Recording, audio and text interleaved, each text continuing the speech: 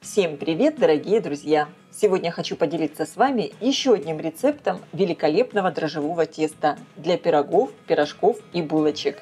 Выпечка из него получается просто как пух. Для приготовления теста мне понадобится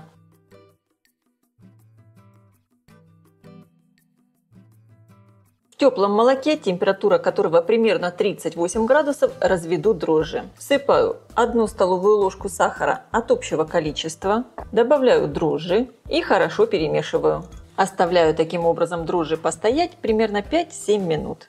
В отдельной миске смешаю яйцо. Я использую яйцо крупного размера. Вес яйца со скорлупой примерно 72 грамма. Сметану. Я использую жирную сметану. 25%. Можно использовать любую. При добавлении небольшого количества кислоты в тесто в нем легче развивается клейковина, и тесто получается более такое волокнистое и воздушное.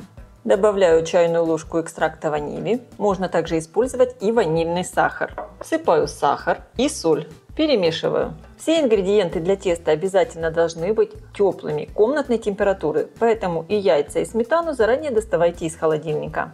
Просеиваю в миску муку, но не всю, небольшую часть муки оставлю. Буду ее потом добавлять постепенно. Вливаю подошедшие дрожжи, добавляю яйцо со сметаной и сахаром. Начинаю замешивать тесто сначала лопаткой, Добавляю в тесто оставшуюся муку, лопатку убираю, Дальше тесто я буду замешивать руками и постепенно буду добавлять мягкое сливочное масло. Добавляю два кусочка масла.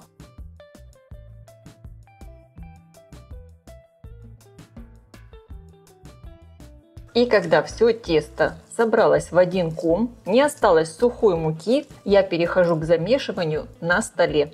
Добавляю еще два кусочка масла и вымешиваю тесто примерно в течение 10 минут. Добавляю 2 оставшихся кусочка масла. Благодаря такому способу замешивания теста в нем очень хорошо развивается клейковина муки.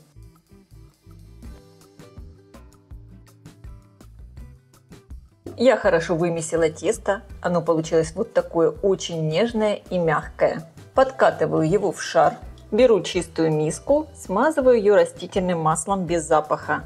Выкладываю в нее тесто и закрываю пищевой пленкой. И отправляю его на расстойку в теплое место примерно на 40 минут. Затем я сделаю обминку теста.